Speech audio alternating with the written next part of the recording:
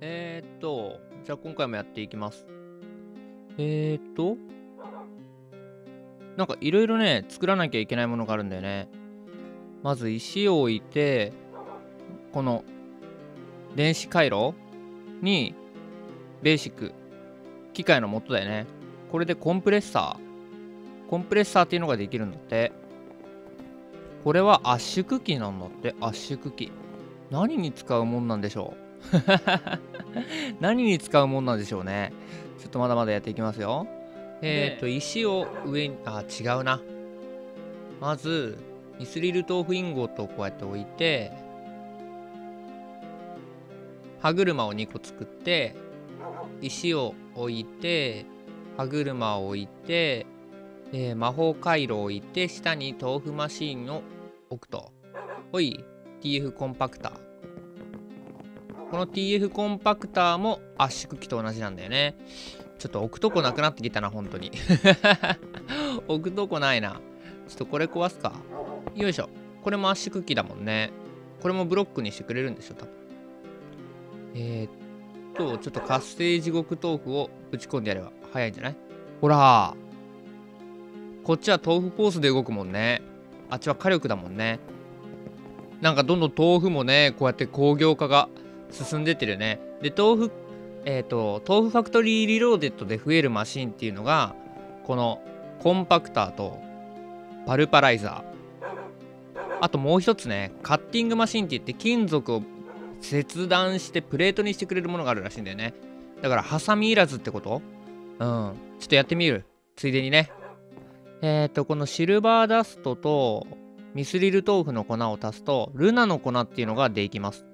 このルナの粉っていうのをまた使うんだよね。で、この豆腐鋼インゴットをこういう風に4つ置いてやると、豆腐鋼の歯車っていうのができると。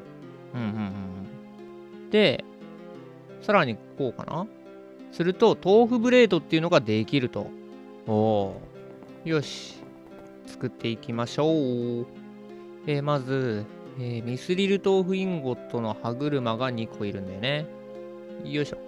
で、まず豆腐ブレードを上に置いて、ミスリル、ミスリル豆腐の歯車。えっ、と、魔法回路に豆腐マシン。オゲ TF カッティングマシンっていうのができた。よし。えっ、と、このカッティングマシンがあれば、鉄ブロックなどブロックを入れてやることによって、アイロンプレートがポンとできるようになると。これでハサミがいらなくなるってことですね。よし。えっ、とですね、この豆腐ファクトリーリローデッドで増えるマシンっていうのがこの TF カッティングマシン、TF コンパクター、TF パルパライザー、この3つができるということです。豆腐ファクトリーリローデッドでできる機械はこれで全部作りました。で、あと、この豆腐も、豆腐モット、豆腐モットね。豆腐モットでできる機械もこれで全部できたんじゃないかなと思います。えっ、と、豆腐モットでできる機械は、まず TF ストレージマシン。うん。TF リフォーマー。えー、あと、TF コンデンスマシン。TF ミックスリフォーマー。TF オーブン。あと、石をはや、えー豆腐を早く固める TF サチュレーター。この TF コレクター。TF アンテナ。それとあと1個だけですね。この TF アンテナの上位版があります。よいしょ。アンテナを置いて、強化豆腐石を左右に置いて、上に混合豆腐を置くことによって TF ウルトラアンテナ。これでね、遠くまで届くようになるんじゃないかなと思います。うん、これで全部かな、とりあえずは。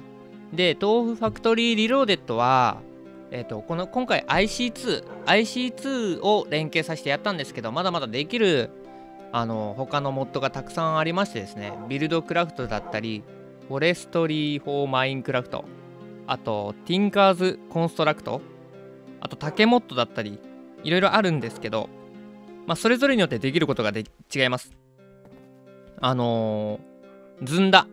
ずんだでできる、ずんだインゴットだったりとか、あとは大豆だったり、枝豆だったりの自動栽培ができるようになったり、えーお料理の数が増えたりいろいろあるみたいなのでまあそれちょっといろいろやってみていただければなと思います。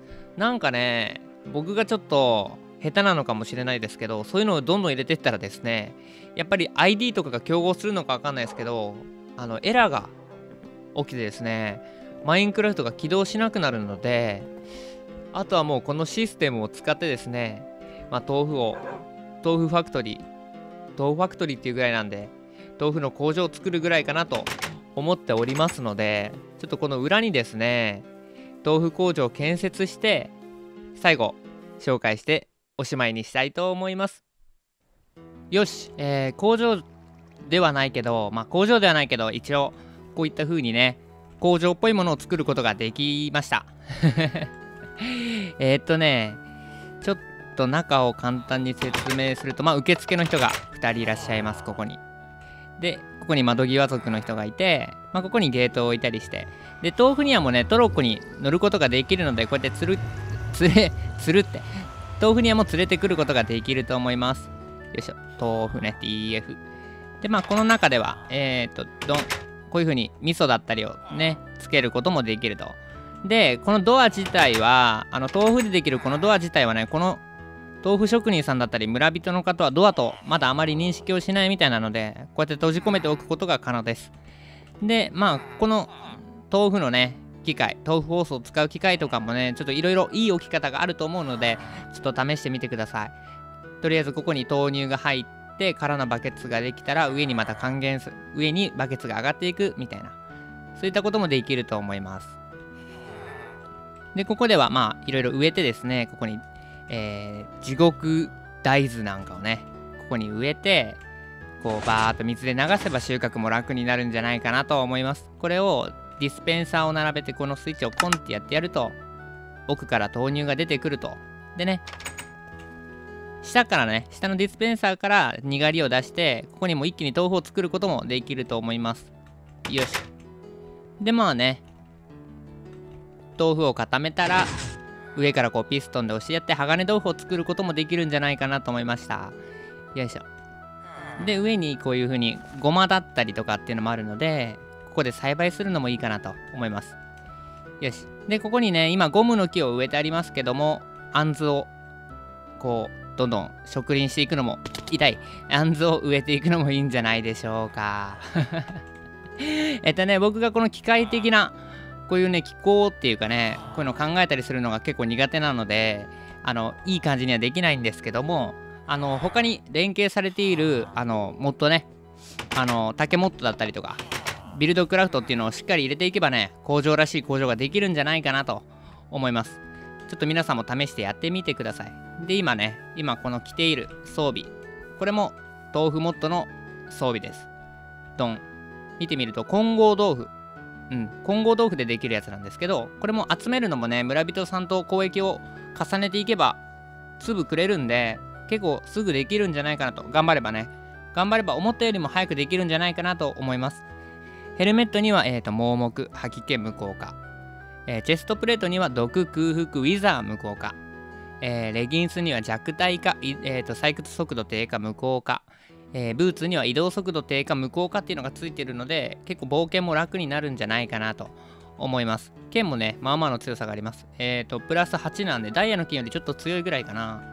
うん。でこの混合豆腐シャベルっていうのを持ったらこうやって四角い枠ができるんですけどこれもこうやって掘ってやると一括破壊ができて整地もかなり楽になるんじゃないかなと思います。よいしょ。斧もね同じです。えっ、ー、と木があったら同じ種類の木。よいしょ。こういう風に、パンって一気に破壊してくれるんで、生活がもっと楽になるんじゃないかなと思います。こういう風にね。で、ツルハシも同じです。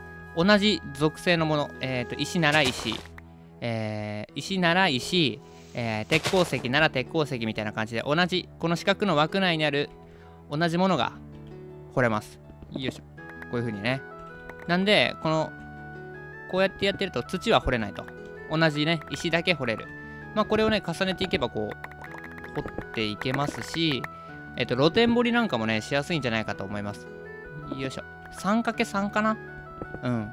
一つのブロックを中心に 3×3 掘れるんじゃないかなと思います。なんで、あのー、工業系をやるにはね、めちゃくちゃいいんじゃないかなと思いました。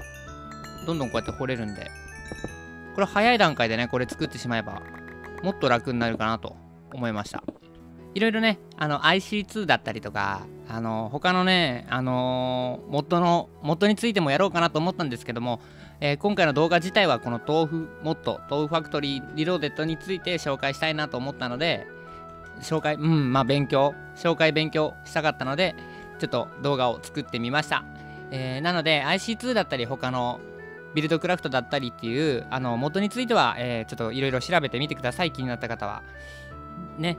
今ここに持っているジェットパック。これも IC2 の装備なんですけど、まあ、これも紹介しようと思ったんですけどまあこの動画じゃないかなと思ってやめました。こうやってね空を飛ぶことがエネルギーを使って空を飛ぶことができるっていうものなんですけど。